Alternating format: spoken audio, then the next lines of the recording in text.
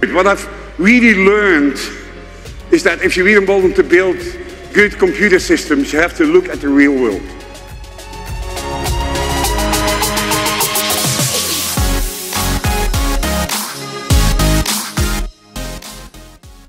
Hi everyone, I'm Professor Sally Eaves and I'd love to comment on what I describe really as a purpose-packed leadership session at AWS reInvent for 2022. The topic area was all things DEI, or diversity, equity, and inclusion, and also building responsibly, and very much how to embed that by design.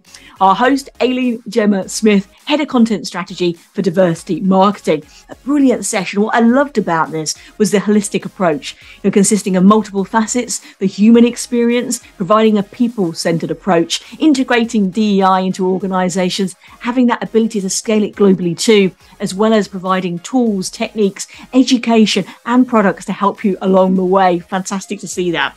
I particularly like the focus on the how.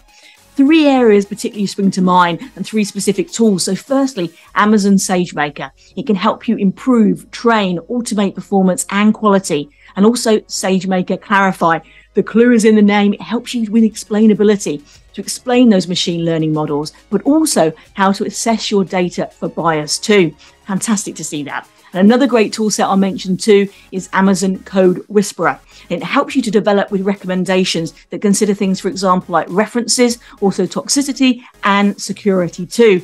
Many more to mention, a real pick and mixer of progress here. But those are probably my top three. And I must give a shout out too about some education developments. As you know, education and technology, I believe so strongly they go hand in hand. AWS announced a new free course development focused around responsible AI. And I love a scholarship program launch that's come together around AI and machine learning in partnership with Intel and also Udacity. It's going to reach over 2,500 students. Brilliant. And as a very side note, too, launch of AWS AI service cards. Again, it's a fantastic transparency resource, helping customers to better understand AI services brilliant to see this. So lots of progress here along technology and education. I'd really recommend to check out this session. It's available on demand. And if you've already registered for reInvent, you can watch it right now. Thank you so much.